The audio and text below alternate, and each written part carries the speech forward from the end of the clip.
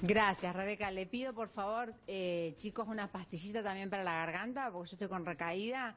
Pero bueno, seguimos con lo nuestro. Seguimos aquí en el Garzón Agulla. Estamos ahora con el subdirector de salud, justamente del Ministerio de Educación. Nosotros habíamos hablado ya la semana pasada. Primero nos dijo una cosa, después yo lo vi, doctor, por televisión, usted decía otra.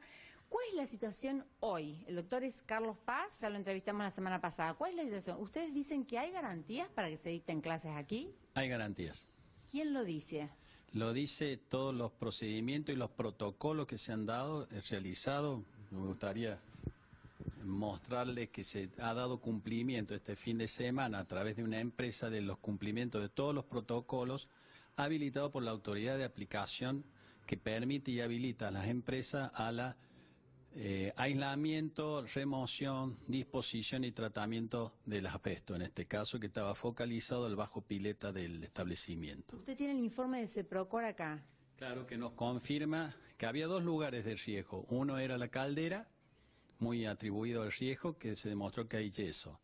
Y que no hay asbesto allí. No hay asbesto. Pero independiente de eso, se le dio instrucción a la empresa que hicieran por la contigüidad hicieran el mismo procedimiento de aislamiento y aspiración y limpieza de todo y remoción de ese yeso también en la caldera. O sea, sean novedades es, se ha cumplido con los protocolos y lo que fijan las normativas del tratamiento, de sacarlo de la institución y darle una disposición final. Esto fue el fin de semana y no el martes, lunes, como se había dicho en una primera instancia, que no se hizo del todo bien. Claro, ahí, al tomar conocimiento ¿sí? Esto se sigue en unos protocolos. Primero demostrar que realmente qué era, ¿sí? Eso lo hace el CEPROCOL, lo realizó de manera rapidísima, con alta calidad de estudio, que nos permite decir esto es tal cosa. Y esto requiere un sacarlo de la institución. Por eso se contrata a la empresa para la remoción y disposición final del tema. Entonces, ¿hay garantías para que se dicten las clases? y en tal caso, ¿por qué los profesores y los padres no estarían dispuestos hasta que haya un informe de la universidad?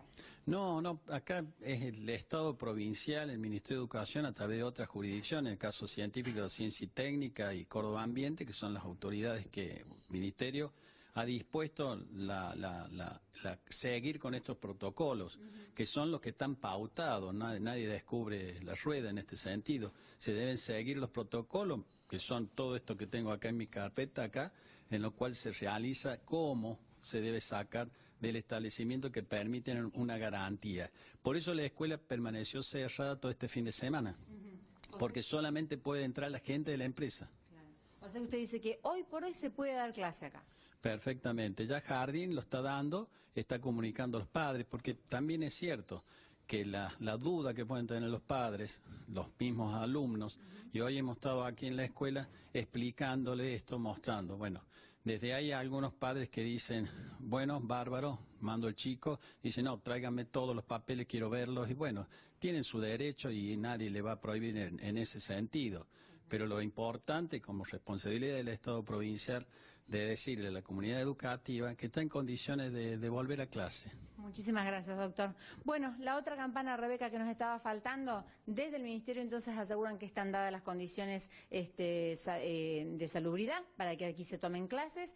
Eh, vamos a ver qué decide el cuerpo de profesores y eh, docentes y directivos de esta institución, a ver si hay, tanto como les decía yo, en todos los niveles o no, o si se sigue esperando algún otro tipo de estudio. Adelante ustedes. Gracias, Valeria, muy amable.